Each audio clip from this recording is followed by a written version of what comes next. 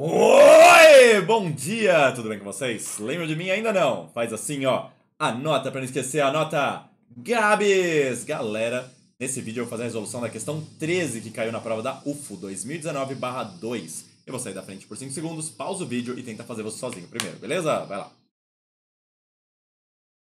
E aí, rolou? Então, lê comigo, vamos fazer juntos. Além de poderem ser observados... Meu vizinho resolveu tomar banho agora. Liga o som não. Já já sai esse chiado, tá?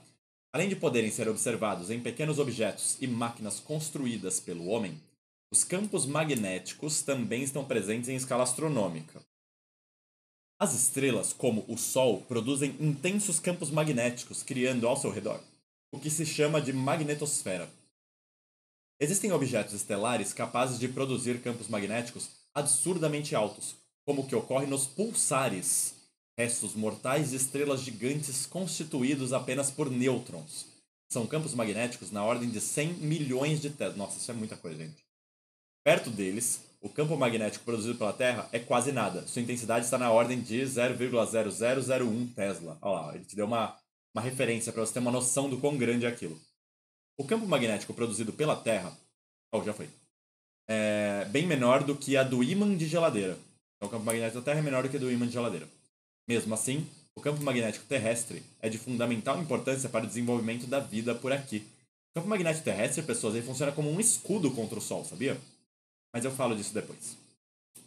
O fato de o planeta possuir um campo magnético impede que partículas com alta ele falou aqui. impede que partículas com alta energia vindas do espaço interestelar ou do próprio Sol atinjam a superfície terrestre, o que poderia ser prejudicial a diversas formas de vida, inclusive a nossa. A respeito do magnetismo terrestre, são feitas as seguintes afirmações: 1. Um, as partículas com alta energia vindas do espaço interestelar ou do próprio Sol, citadas no texto, quando eletrizadas sob a ação do campo magnético terrestre, são responsáveis pela formação das auroras polares. Esse item é verdadeiro. Vocês sabem sobre as auroras polares, gente? Se você pensar no Polo Norte, por exemplo, você tem a famosa aurora boreal. Olha que legal, gente. Aqui está a Terra, beleza? A Terra tem um campo magnético em volta dela. Esse campo magnético sai do polo norte magnético, que fica no sul geográfico, e chega no polo sul magnético, que fica no norte geográfico, beleza? Então eu tenho aqui as minhas linhas de campo magnético. Nossa, que horror. Calma aí que eu consigo. Aqui, ó. Pronto. Fazendo isso. Beleza? E pro outro lado também, enfim. As linhas estão vindo aqui bonitinho. As partículas eletrizadas que vêm do Sol são chamadas de sopro solar. Elas são cargas carregadas. Elas são partículas carregadas, com cargas positivas ou negativas. Quando essas partículas chegam no campo magnético terrestre, o fato de uma partícula carregada estar em movimento num campo magnético gera uma força magnética que empurra essas partículas, beleza? E aí ela pode empurrar tanto para cima quanto para baixo, dependendo da carga da partícula. Ou seja, essa parte aqui, ó, fica blindada, protegida e não é atingida por essas partículas. Pegou que louco? Essas partículas, por outro lado, elas vão acabar vindo aqui, ó, pro Polo Sul. Ou pro Polo Sul magnético, né, que é o Polo Norte geográfico, ou pro Polo Norte magnético, que é o Polo Sul geográfico. Vão vir para cá. E quando elas atingirem a atmosfera da Terra, aqui, ó, elas vão transmitir essa energia para as partículas da atmosfera, que, pela reação, vão acabar emitindo energia emitindo ondas eletromagnéticas, inclusive em espectro visível, que dá aquele efeito bonito da aurora boreal, no caso do polo norte geográfico, por exemplo. Legal? Então, essas partículas do Sol atingem a atmosfera, reagem com as partículas da atmosfera e acabam emitindo luz.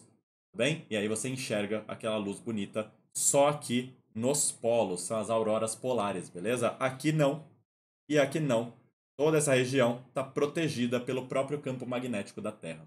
Então, item 1, verdadeiríssimo e é lindo isso daqui. Lindo tanto o efeito visual, procura depois, quem nunca viu uma aurora boreal, uma aurora polar, procura no YouTube pela, pelos, pelos vídeos disso, que são lindíssimos, e é lindo o conceito também, isso daqui é fantástico.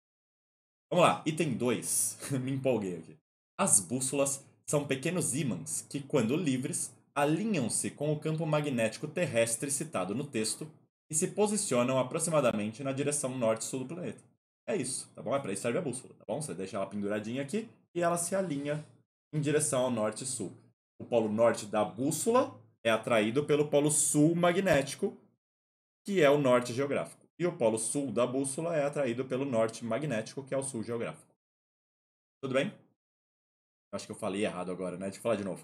O polo norte da bússola se alinha com o sul magnético, que é o norte geográfico. E o polo sul da bússola se alinha com o norte magnético, que é o sul geográfico. Agora sim. Então, verdadeiro, item 2 é verdadeiro, sim. Dá pra eliminar algumas? Deixa eu ver. Dá pra eliminar essa. E dá pra eliminar essa. Ah, é B. Acabou. Mas vamos ler o último, vai. O campo magnético terrestre, apesar de baixa intensidade, como citado no texto, possui módulo, direção e sentido constantes em todos os pontos da superfície da Terra. Não é verdade, né, gente? aqui mais perto do polo, eu tenho mais linhas de campo magnético chegando. Então eu tenho um campo magnético mais forte do que aqui no Equador, por exemplo. No Equador o campo magnético é bem mais fraco do que nos polos. Beleza? Então não é constante. E portanto o item 3 é falso. Ok? Que torna a verdadeira alternativa B. É isso aí. Matou esse exercício. Deixa eu ver se tem dúvidas no meu chat. Tem dúvidas aí? Não tem? Então tá bom, se você aí em casa ficou com dúvidas, pode mandar aqui nos comentários que eu tiro pra você, beleza? Caso contrário, um beijão e até a próxima questão.